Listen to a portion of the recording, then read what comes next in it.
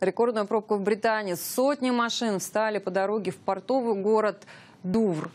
Эти кадры потрясающие. Измерить бы, сколько это километров. Англичане хотели отправиться на отдых во Францию, но путь им преградили бюрократические барьеры. Теперь пересечь, пересечь английский канал крайне сложно из-за новых требований безопасности.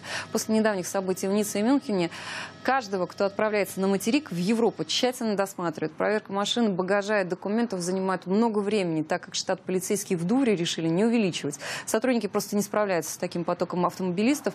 Кстати, среди застрявших оказался и депутат британского парламента. Он готовит жалобу на вот такое безалаберное отношение полиции к своим обязанностям.